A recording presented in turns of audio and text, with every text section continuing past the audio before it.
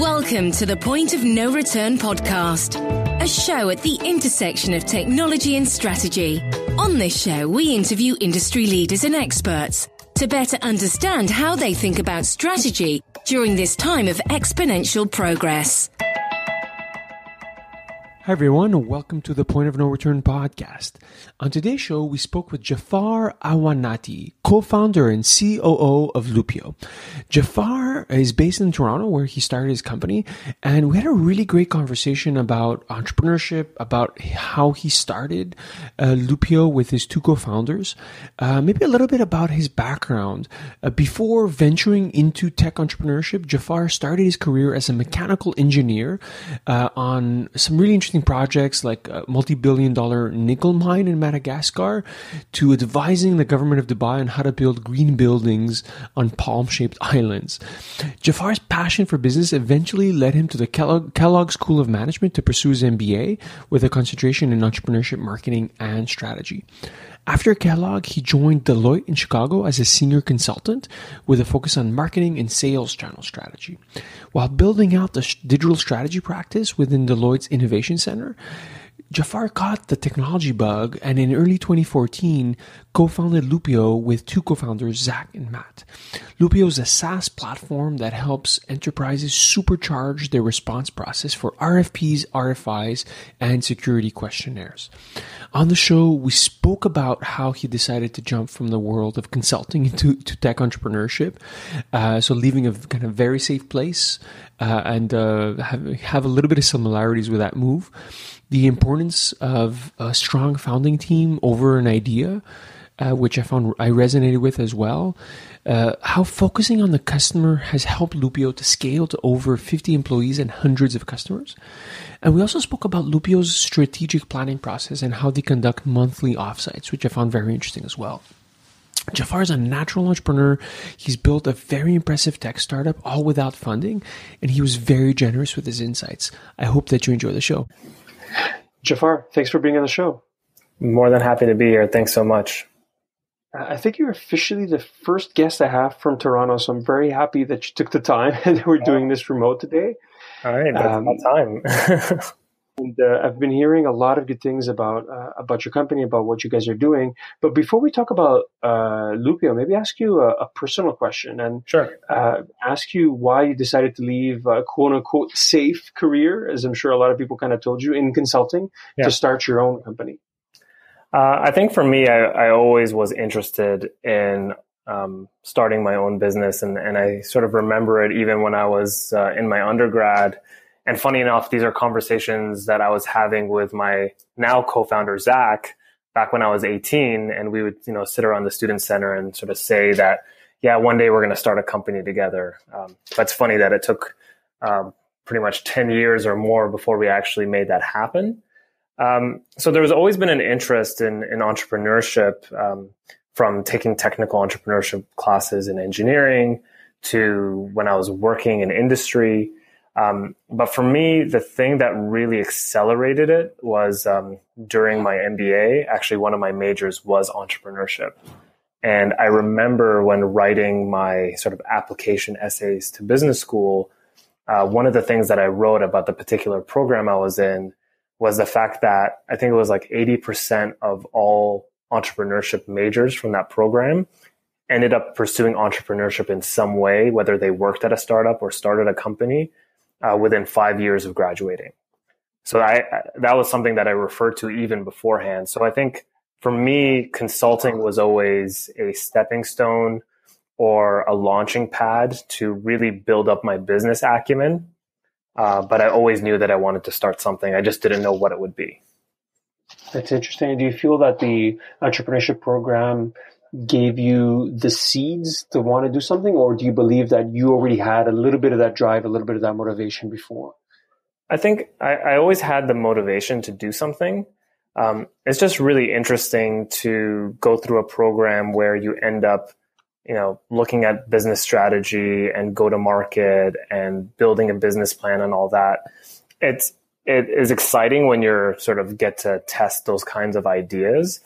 But the reality is you know, whatever education that you want to take is not necessarily going to set you up or get you ready to what it's like to start a company. It's just, uh, it just continues to add fuel to the fire, I would say, in terms of building excitement. Hmm, that's great. And imagine that even though you had a relatively short career in consulting at Deloitte, mm-hmm. uh, did that year and a half uh, help prepare you in any way? Were there any lessons from working in management consulting that are applicable to to starting a, a tech startup? Yeah, absolutely. I think there's uh, there are a lot of elements of consulting that are very much only applicable to sort of large industry. And, and even that even applies to business school. You can pursue your MBA and a lot of the things that you study and you focus on are on market dynamics uh, between very large organizations. Even things around pricing strategy or things like marketing strategy tend to be focused on larger enterprises. Um, but I think the stuff that I learned from consulting was um, just elements around structure, I think are extremely important. Just how you can look at a problem and segment it, organize it, and use data in order to help drive decisions. And even things like structuring a meeting, how you can manage and grow a productive team of really smart people as well. Uh, it's a very feedback oriented industry and just even project performance. All of those elements I think are really interesting um, that really apply to how you want to structure and, and grow a business. Um, I think there are a lot of transferable skills from many industries. Uh, consulting is one of those areas where you work a, a ridiculous number of hours for very um, high demanding clients on very challenging problems. And I think just having that sort of pace of work is almost like boot camp to what the expectations are in the early stages of starting a company. I can imagine, right? So it, you were, like, I guess, a little bit of sadism of like, hey, I'm going to leave working in like an 80 hour work week job to starting a startup from scratch. And I believe you were uh, a co-founder as well at Loopio. Mm-hmm. What what was the idea behind Loopio? How did you guys come up with that idea? And like, I imagine that maybe the idea changed or, or did not. Uh, so I'd like to hear about a little bit about the inception story. Yeah, uh, I mean, I first want to comment on what you're saying in terms of like working an 80 hour job to starting a company. I think what's really interesting is uh, for starting a company, it is a lot of work. But I think the thing that's really unique is at a startup, especially when you're a founder, you have the ability to build your own boundaries. So even if you do work a ton of hours, you have the ability to say, okay, it's 6 p.m. I'm going to stop. I'm going to go out and grab dinner with my friends, or I'm going to stop and I'm going to go to the gym uh, and these are things that you may not necessarily have the flexibility to do in a consulting or an investment banking context. Um, but you still work a ton, but you still have a lot of control, which actually allows you to provide still some element of balance. So even with all the work in starting a company, I still felt like my life was very much um, sort of balance between all the different facets that were important for me in my life. So I think that's a really important point, and I think a lot of times people talk about entrepreneurship and the grind, um, but the, I think the grind does come with some control. Yeah, yeah, I agree completely with that point. And, you know, it's funny because I feel sometimes the reverse to be tough as well. So, I, you know, the ability to set your own boundaries and freedom, I think is incredible, which is kind of the reason why I wanted to launch, start my own thing. Yeah. But then I'm, I always feel this int- intense sense of remorse that I'm not working enough. And yeah. I think I've gotten better at it. Um, mm. but particularly in the early days where the business wasn't going as well, uh, it was really hard to go and, you know, get, get clients. Yeah. And sometimes just, there wasn't enough stuff to do. So I'm like, okay, it's Saturday, 3 p.m should I just go out and enjoy a nice July day or like just like be depressed and say, ah, my business is not working and it's not going well and I should like either read or prepare a, like an article or just try and do something. Yeah. And uh, it's a fine balance between, uh, between those those two things I find because yeah. in one sense that drive is also what helps you kind of like be restless and yeah. build a business, yeah. but you can't be it can't be a, um, uh, an anchor around you either, right? And I've gotten better at that balance, but it's not always been easy. Yeah, I think the interesting thing is as an employee, um, you can have an unproductive day, but then you know that you're going to get your paycheck at the end of the month or at the end of the week. Versus in the early days of entrepreneurship, when salary is a different conversation, it's sort of you know that if you didn't have a productive day and you didn't close X number of clients, that that impacts your viability or your livelihood uh, in the early stages of a company. Obviously, in the beginning, you as an individual contributor, as an entrepreneur, you have far more impact. But as you grow, as your business grows, um, you end up realizing that it's not about what you do and the hours that you're putting in, but rather how do you empower your team to do the best work possible in order to evolve and grow your business. So your activities and what you do as an entrepreneur shifts quite tremendously as the company evolves. Um, but I do want to go back to your original question in terms of the idea and how sort of Loopio came about as as a business. Um, and and I, I, want to take it back to what I mentioned around my early days at, at Queen's University, where I met my co-founder Zach. So I did mention that we were both sort of 18 and talking about starting businesses, but when we decided to sort of really take this seriously and want to build something together, um, I think the really important thing is we both gained alignment that it wasn't about the idea, that it was always about us starting something together. And we had the confidence that we can build something and that even if it wasn't working, we can then pivot the idea and take it to something else. So the excitement was never about what is the thing that we're solving, but rather how we're solving it and what we're building as an organization. So we had, you know, probably 30 different company ideas or business ideas from B2C to B2B. Uh, and as things evolved, our conversation went a little bit more specific to business to business solutions in more of a niche or what we consider a more um, sort of stagnant market or a market that hasn't been disrupted or something that wouldn't be considered to be as cool as other industries. Um, and that's really where we came around this idea of helping companies respond to RFPs. Hmm. So an RFP being a request for proposal uh, is a process typically where an organization and a sales team will have to respond to this request for proposal that's typically a laundry list of requirements that can consume an organization, especially if it's a larger deal. Um, and it's a lot of answering and building content with similarly used information that's been used in the past. Um, and so we, we got stuck on this idea a little bit. We're like, this is something that we should pursue. And in particular, because uh, Zach and my third co founder, Matt, had seen this challenge at Achievers, which is another successful tech company out of Toronto, um, and they experienced it firsthand. So Zach was a sales engineer, and as a sales engineer, he sort of was the go-to person to answer any sort of technical request that had to do with selling the Achievers platform. And he quickly started seeing the, sort of the same questions being asked over and over again. And it's really the idea came from Zach and the conversation that he had at Matt where they worked together at Achievers and Matt was on the technical or dev side of things and he was now the technical person helping to answer some of these questions as well. So we've all sort of felt this pain point and it was when we focused on this idea of RFPs that we decided that all three of us should come together. So that was sort of like a really cool thing where we had three different people in different parts of their careers where we all of a sudden had alignment in terms of we're all ready to start something and let's just do this together. Hmm. Yeah, that's great. I love that. It's obviously very analogous to my startup as well, where we're three. And I, mm-hmm. you mentioned something, the team, and I'm going to go back to that just because I find it so important uh, having a strong partnership. Uh, yeah. where you trust your partners and you guys are in it together no matter what. I find that that is very admirable. Um, mm-hmm. And then the idea itself is a very, I believe, very good one because it's it's a very recurrent problem that uh, where there's friction, I think lies opportunity. Um, what was your the, the, biggest challenge in the early days when you guys um, were, were, were scaling the company? What were the, some of the, the, the, biggest challenges that you had to face in, in growing and scaling?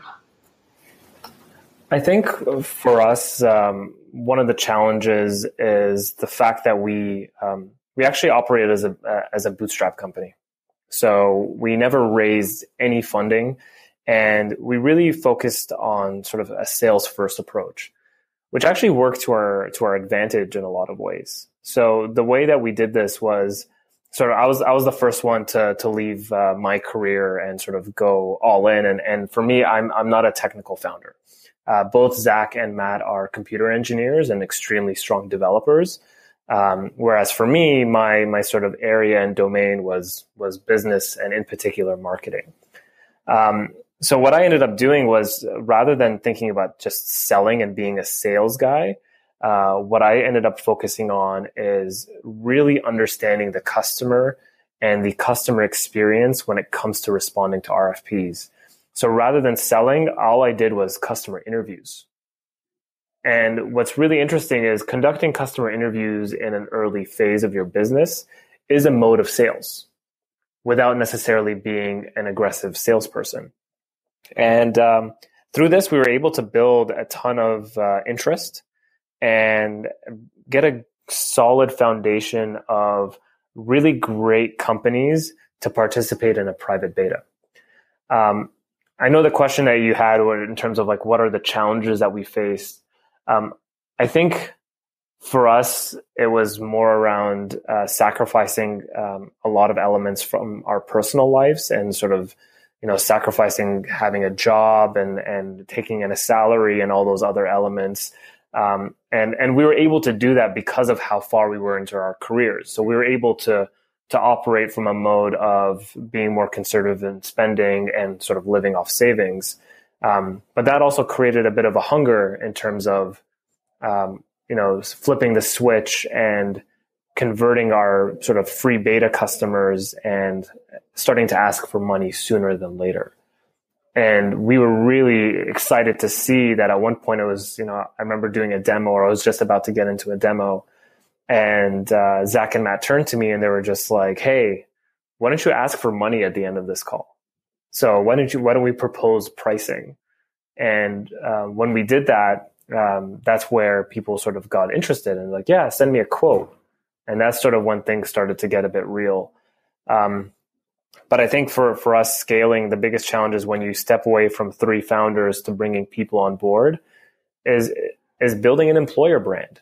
How do you build an employer brand as a bootstrap company in a product in a, in an area like RFP software that isn't necessarily looked at as like a, a, a, really exciting problem to be solved. It's a very direct pain. People know about it, and it's something that can be very easy to explain when you've been through an RFP. But to someone who's uh, young and looking to build their career, how do you actually do that? And I think we've been able to do that by sort of building an amazing culture that focuses on ha- creating the best possible work environment for our team. Hmm. You mentioned a few interesting points, Jafar, I want to go back to. And one is uh, this notion of customer centricity and something I've seen in preparing for, for today's conversation that you guys have mentioned this in public as well.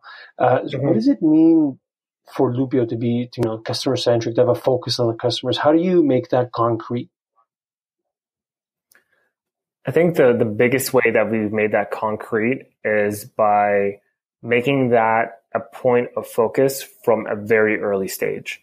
I think that some companies end up, you end up picking what your strong suit is as an organization. You need to have a strategic focus for your business in terms of what are, how are you going to differentiate yourself? Um, you can differentiate yourself by pricing. So being extremely cheap, for example, you can differentiate yourself uh, through product through having a very innovative product that uh, no one else can keep up with you. Uh, you can also differentiate yourself based on the experience that you provide your customers. Um, you know, we we believe that we have a world class product and a product that's going to continue to evolve. But the reality is, product can also be duplicated. Elements or certain features can be duplicated. So we thought about what what is something that cannot be copied, and creating a culture of uh, building trust and relationships with customers is extremely difficult to replicate, especially as you build out advocacy and customer references and relationships. So the way that we did this is Zach, who's our CEO, uh, was was really um, one of our developers early days. It was just Zach and Matt coding, and this is when we were just three people and we ended up having a lunch meeting. And he came to us and he said, uh, Jafar, Matt, um, I think customers are the absolute most important thing to us as an organization. I think that I should stop coding and I want to build out our customer success organization.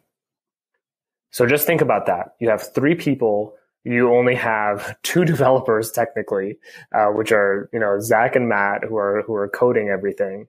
And there comes a point where one of two developers says, "No more coding focus on customers.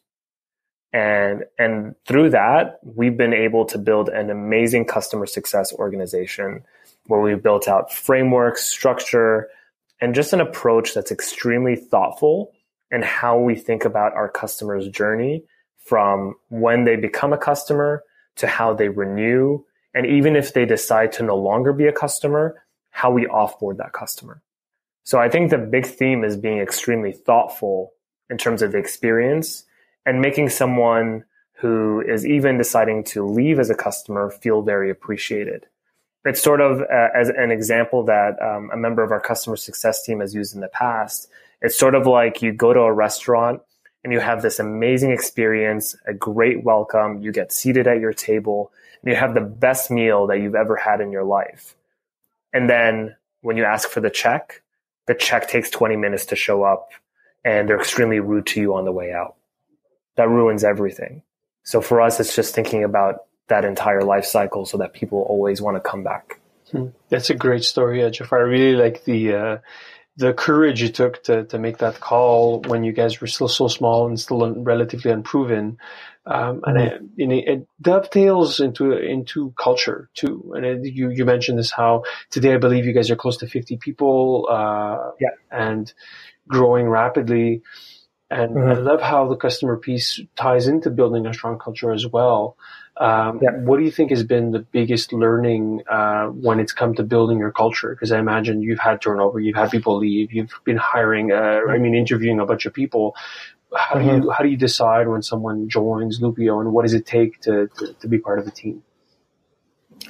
I think um, using the term culture fit isn't something that we look at in the interview process. It's it's something that evolves naturally, and I think a lot of hiring does come with gut as well.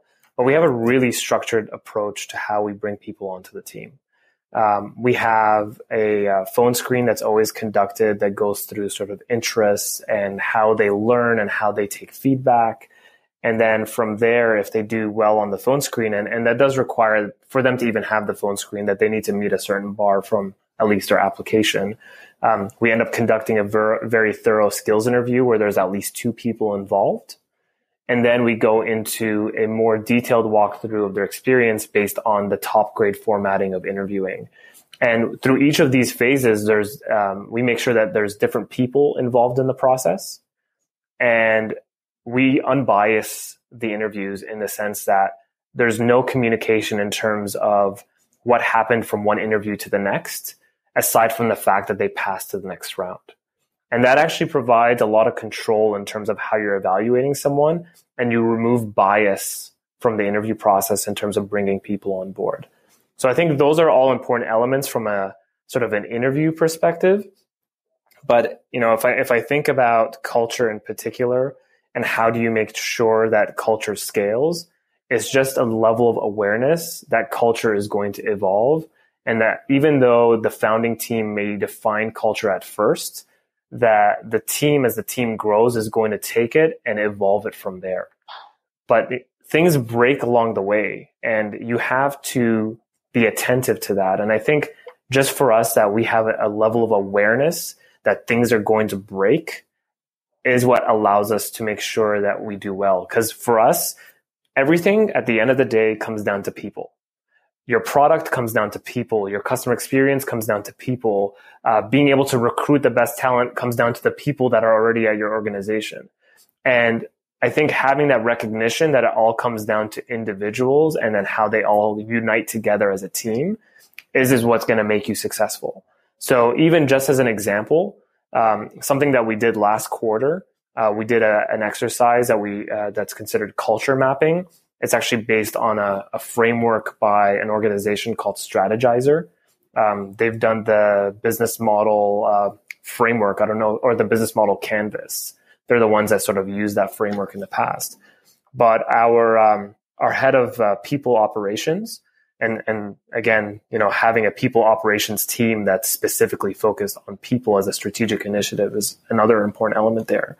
But our our people ops manager Haley, she actually conducted interviews with uh, about half of the company and used the culture mapping framework to conduct those interviews to identify what is working well and what isn't working well in different facets of the organization.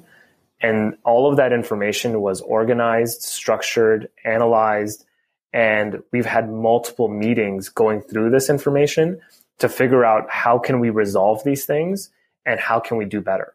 And with every resolution that we identified, we also analyzed to say what is what could go wrong and what can go right. And maybe sometimes the best decision is not changing and letting that certain element be broken temporarily. Um, so I think it, it, continues to go back to uh, a thinking of being thoughtful and being aware that nothing is perfect and things should be changed. Things should change and you should be ready for change. Mm-hmm. Yeah, you raised a few, a few, nice pearls of wisdom, uh, Jafar, that I appreciate. So like the notion of change in a high growth environment is is is normal and I think to be expected. And I think it takes a special kind of founding team to, to lead and build a culture through that. So I think that's that, that's really cool. Um, maybe to ta- switch gears, but also related to the previous conversation is how you guys come up with mm-hmm. strategy for Loopio. So you mentioned uh, ready to start before we start recording about you guys leaving for your for your annual retreat. I'm just curious as to what, you know, how you guys set your, your priorities and how you go about creating them? I think um, for us, creating strategy has evolved over time. And really, what it's important is empowering individuals that are leading different teams to help drive the strategy for the business. Um, so, you know, there's, you always end up having a ton of data around, you know, how you're doing in terms of sales, what are your numbers for churn, uh, you know, what type of customers are the best customers for you. And we basically pull all that information and we think about what we have even from a capacity standpoint in terms of what we can achieve based on the number of team members that we have. Um, and we start going through those priorities and think about how we can drive the strategic initiatives for the business. For us, our strategic initiatives get broken down per quarter. So we always end up having quarterly goals and we segment them by team. And we also provide a single point of accountability for each and every goal. And at the end of the day, all of the goals in combination, they need to focus on the overall objective for the business. And for, for us right now, the primary sort of metric for us is driving recurring revenue for the company. So we really try to be um, thoughtful in terms of is doing this going to add value? So for every goal, we actually note down um, what is the sort of value of action. And ideally, we can put a quantitative metric associated with that action. Uh, and then what is the cost of inaction? So what happens if we don't hit that goal? What is that going to cost the organization in terms of resources, uh, time, and even potentially exposing business risk? Um, so I think that's those are the main elements that are important for us from a goal setting perspective. Um, but you know, for us, for strategy overall for the business, um, something else that we do as a team, at least as a founding team, um, we do monthly uh, strategic offsites. So every single month, me, Zach, and Matt step away from the organization completely. We uh, have a, a separate room or an office that we book outside so we'll use something like Breather, for example, to book a to book an external office, um, and we will have an agenda for that day in terms of three to five strategic things that we want to focus on, and we just go ahead and start whiteboarding and thinking things through together. So we can then take those strategic insights and have action items coming from there, and then we bring them back to the team and drive things to the organization level as well. So it's really important that the communication funnels to the rest of the organization. And we don't operate in this silo of like, these are the founders coming up with their ideas and then the organization is something else. We're very much integrated. And the goal is to not have this sort of differentiation of founder non-founder, which I think is a very dangerous thing when you have founders who may operate with a chip on their shoulder or they believe that their strategic thinking is more evolved or is going to uh, or is not open to criticism. And I think that's something that's important is that we need to make ourselves available to be criticized and to receive feedback. Yeah, that's great. And do you allow the team to not only challenge but to propose strategic priorities? Uh, where how do you draw the line? Absolutely. I think uh, going back to sort of the quarterly goal setting, every sort of leader of each team is responsible for identifying a certain number of goals for each quarter. And that requires that leader of that team to sit with everyone else within that particular team to go through all the different initiatives and everyone has a chance to propose different things to work on. And, you know, it, it becomes a sort of uh, discussion and a debate in terms of what is really a strategic goal. Um, but there could be other initiatives that happen that are just simply considered as sort of smaller projects that are prioritized more on the team level. Uh, and then the strategic objectives are actually communicated company wide and are tracked and reviewed on a regular basis across the organization. No, that's really interesting. I really like the concept of these like monthly uh, get-togethers. Like we, you know, we look at doing monthly sprints, uh, but it sounds mm-hmm. like you guys go a few levels deeper, which I find very interesting. Um, want to be yeah. respectful of your time, Jafar. Maybe one, uh, one or two more last questions.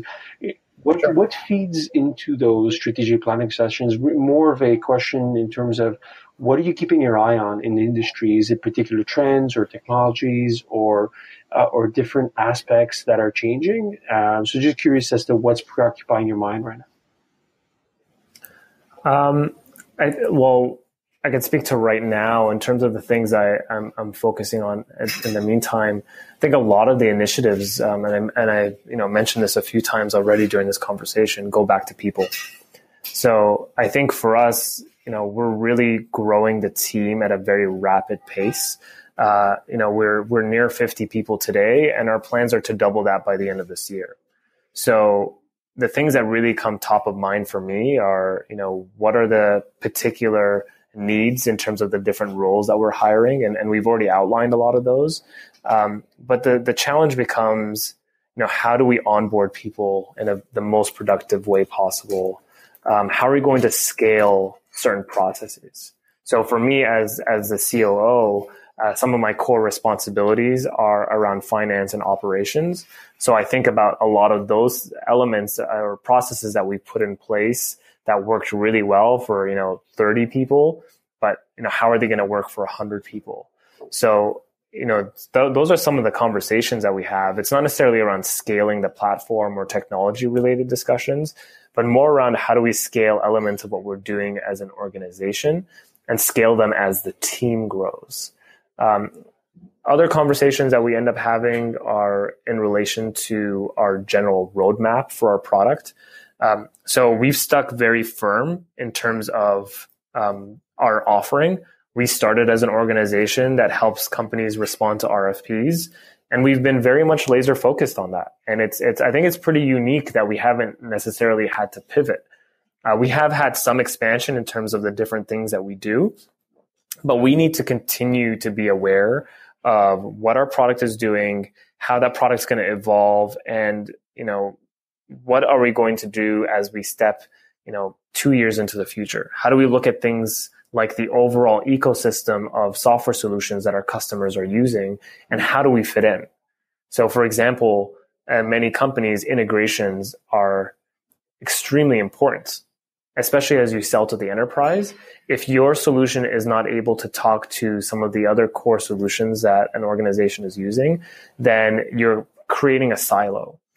So our goal as a software company is how do we break those silos and make sure that we're able to be a solution that is being used in um, in conjunction with the rest of the technology stack that our customers are using, and basically be so uh, engaging and so helpful as a software solution that you'd basically need to rip it out of their hands if if you're like you'd struggle to take it away from them. Uh, an example that our um, CEO Zach would say is like, you basically want it so that if someone wanted to take your solution away from a customer or a user at the customer, that there would be riots. Uh, not to say that there's anything violent or anything associated with that, but just ima- imagine taking Salesforce away from a salesperson and what that would do to an organization. And that's really our vision for Loopio as well. That's uh, very admirable. I really like I like the example of like you have to rip it out of their cold dead hands before they accept. Um, uh, Jafar, I really appreciate your time, and I found that you had really great insights. Um, I, maybe one last question: Where can people find out more about Loopio and about what you guys are doing? Uh, you can uh, always hit us up and check out our website, which is www.loopio.com, which is L-O-O-P-I-O.com. Uh, and, you know, for us, our biggest point of focus, as I mentioned, is, is around people. So if anyone's interested to learn about the great career opportunities that we have here at the organization, they can go to loopio.com slash careers and we're looking for people in all different facets, you know, uh, and all different levels as well. So very excited to grow the team with amazing people, and uh, hopefully this uh, is a chance for people to learn a bit more about us and what we care about. Amazing. Make sure to spread the good word then. Thanks so much. Jafar, thank you for being on the show. Thanks, Nectar. Thank you for listening to the Point of No Return podcast. Never miss an episode by clicking on the subscribe button on iTunes or Google Play.